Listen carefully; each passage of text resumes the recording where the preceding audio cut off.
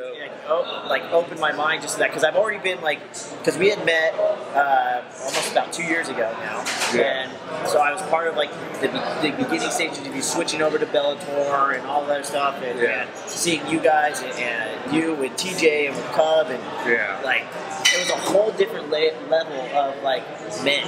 Yeah. like, it was just like fun. Like it's a whole different thing. Like all like the camaraderie that you guys have is, Yeah. is, is awesome. You know, but also too is just like the fucking work that nobody realizes what you guys do. Yeah. And how how much and like you guys put into it. I was fucking blown away, and, Yeah. and especially when I followed you too at that one Bellator fight when it was like, okay, we're gonna go. You're gonna wake up in the morning. You're gonna do this at eight o'clock, and you're gonna rest, and then you got eleven o'clock, and then you're gonna come fucking back at eight Yeah. o'clock at night, and then you're gonna do a roll at night, and then Yeah. get in the sauna. It was like, what the fuck? Yeah. I, I was like, you're never tired.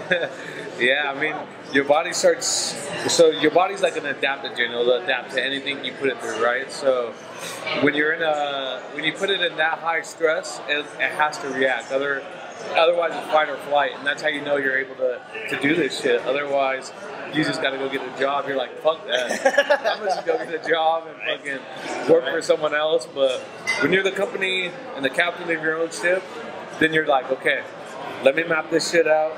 Let me know what the end goal, and then how to how, how to accomplish these little goals to get to that end goal. You know, so Yeah. it takes a team for sure. So if you try to do it on your own, you're gonna fail. The, the it's, ship's ex- gonna it's sink. exhausting. Like, like just seeing you have to go through that and, and everything. It was just like, oh my god. And that's like that was one fucking day. Yeah, That was one day, and you're like, oh, I'll lose 14 pounds right now. And the fucking day, I was like, what the fuck is going on?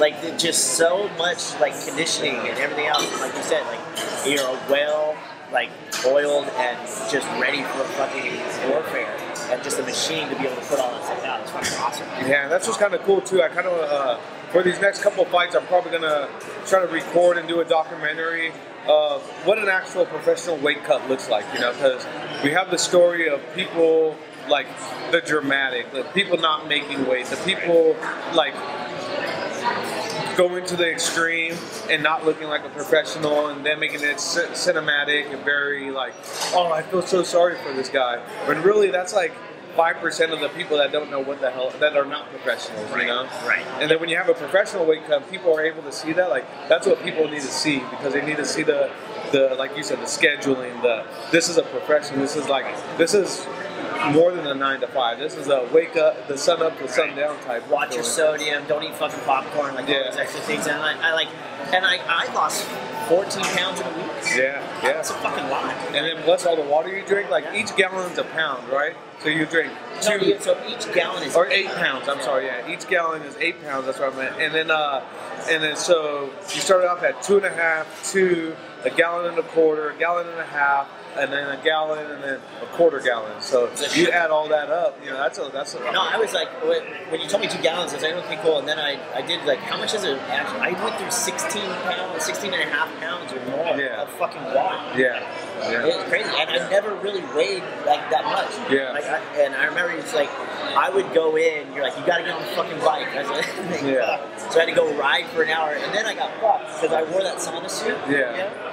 And it was cold outside. Oh shit. and I didn't sweat at Yeah, all. I rode around for a fucking hour and I lost like 0.2 pounds. Yeah. I was so pissed, Yeah. just out loud. I was like, fuck! Yeah. So I had to go in, I jumped in the sauna and did Yeah. all that stuff. Like, it was crazy, but there's an amazing amount of fucking water that you have to drink in, and pounds and everything else. Like, it, was- it, it was cool. But it, it's definitely one of those things of like, you see these guys like super, like, almost atrophying when they're going into weigh in because they're not doing it the right way. Or they like fucked up.